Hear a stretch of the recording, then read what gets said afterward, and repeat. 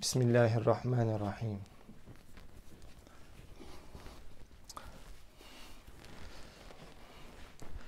A very good friend of mine sent me a video recently in which there was a brother who was saying that the, the Jum'ah khutbah Imam, he said that the whole of enti- entirety of Islam can be characterized by good character. When I heard that, I was absolutely shocked. Having studied Islam for over 25 years, reading the Quran every day, that is something that not wasn't that much of a surprise because that is what is preached from Jum'ah Masajid up and down the country, up and down the all over the planet. That they teach Islam is only about character. And I responded him to him saying that if you read the entirety of the Quran, there is no way that you could come to this conclusion. Even and not denying that character is an important part of Islam. This morning, as I read every day, every morning, as Allah subhanahu wa ta'ala said in the Quran, بعد بسم الله الرحمن الرحيم وقرآن الفجر Inna Quran al Fajri kana mashhuda. So we should read the Quran every day at, Salat, al Fajr. So this is the Quran that I love to read every morning.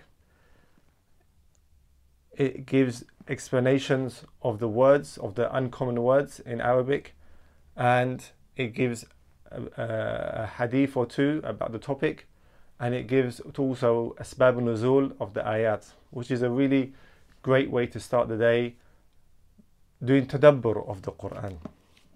And I thought, well, what don't I know this book has a in the glossary has abwabs or chapters of and it has categorized all of the ayat. I don't know if it's all of the ayat, but it has categorized the ayat that is found in the Quran. And I thought, let me just have a look at that in response to what the brother, very good, uh, very good brother and friend of mine, he wrote. And I thought, let me just go through that and maybe that will help him have an insight into what the Quran is. Because if you read the Quran in its entirety, there is no way you can come to the conclusion, as that brother said, that Islam in its entirety can be summarized into good character. So, so let's have a look. Bab al Awwal, first chapter, Hawl Arkan al Islam, around the pillars of Islam. And here, if you look into the details, it goes فصل الأول الدين first uh, character, uh, category الدين فصل الثاني التوحيد so it's not the typical five pillars of Islam it adds a few on top of that so let's look at the so it goes as you can see it puts all of the ayat related to that.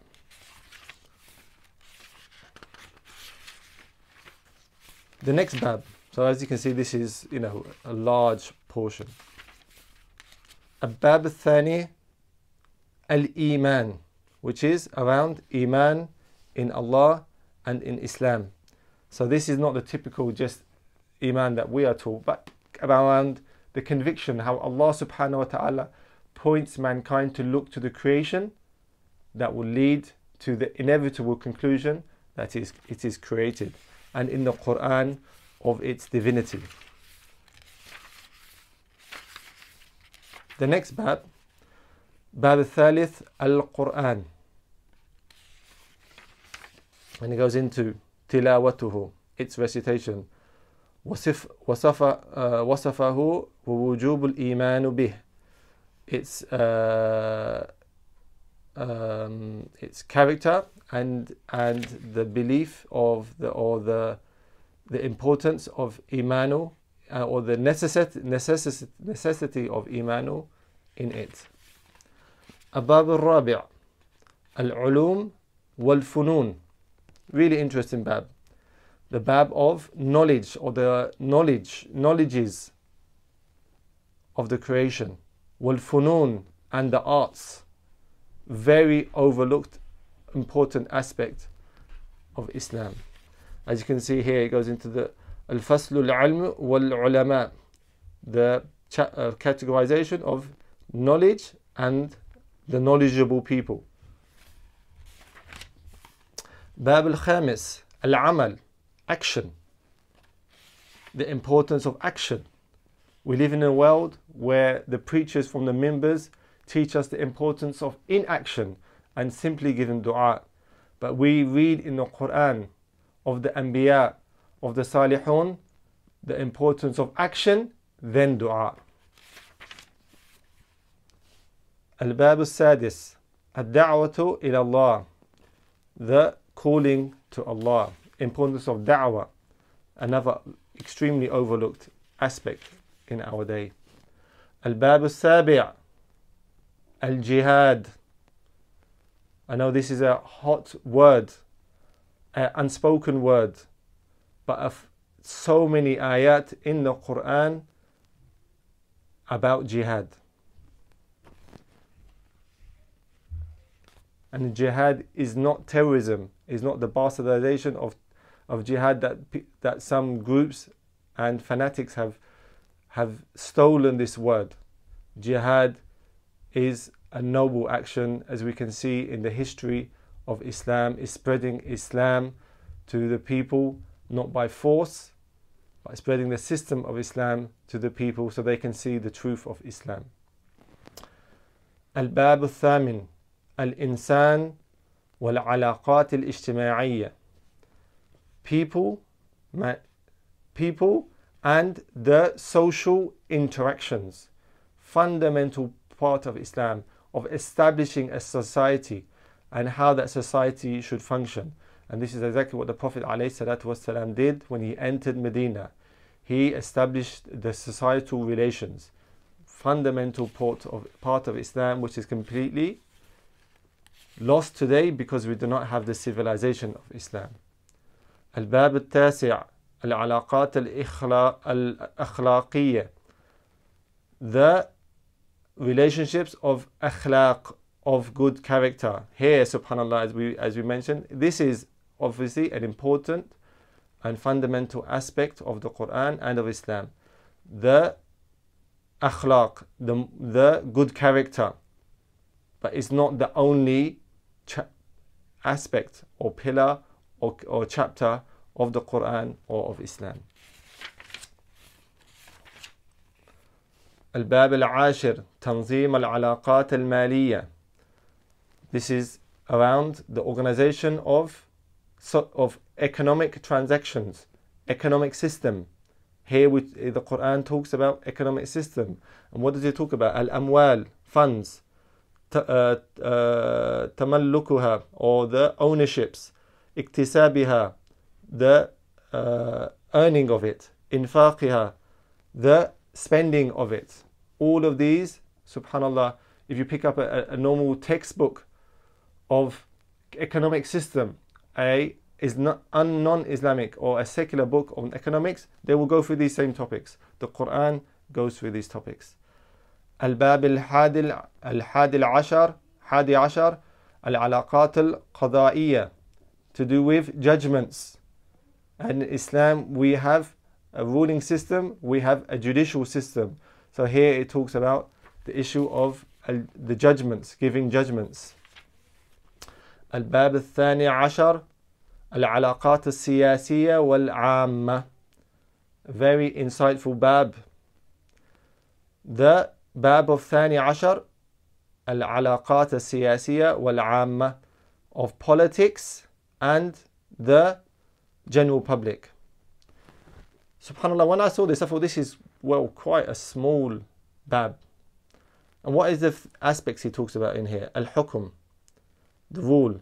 As-sulta lillah yu'tiha man yasha. That Allah gives the sulta, the authority to whoever He wills. Wali al-Amr.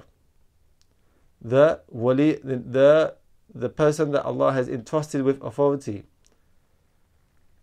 And there's many ayat when I look at this Baba from there's many ayat that I would put in this character that are just not here. And this brings to a really important point. This book was published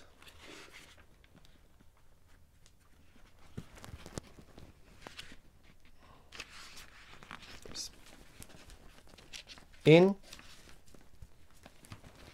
by Darul Rashid, Dimashq in Syria. This is why I bought this book before uh, the war. Dar al-Rashid in Dimashq, Syria. So obviously being published in Syria, the authors of them, may Allah protect them and bless them, have to be very careful about what they put in this bab. Bab of siyasa. Because the rulers who are still the tyrants there today, the Assad family, would be inspecting what have you put in this bab. And so his bab is all about obeying the rulers. What he's sort of put in here, uh, you know, generally speaking. Because, and this is a really insightful into the Islam we have today. The Islam we have today that is propagated from our lands is heavily influenced and controlled by the regimes in those lands. They only allow you to speak about Islam that is acceptable to them. And that's why we have the notion that Islam is only about character. Islam is only about rituals because this is the only Islam that they are allowed to speak about.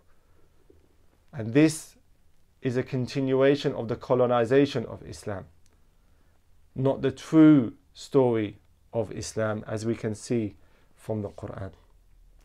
I go on.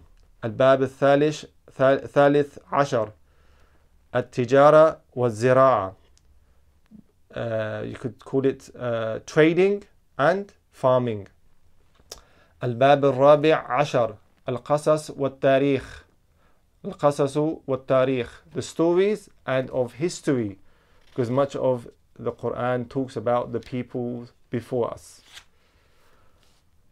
الباب الخامس عشر Ad-Diyanat, the religions. And here he talks about Ahlul Kitab and the people from that followed deens other than Islam.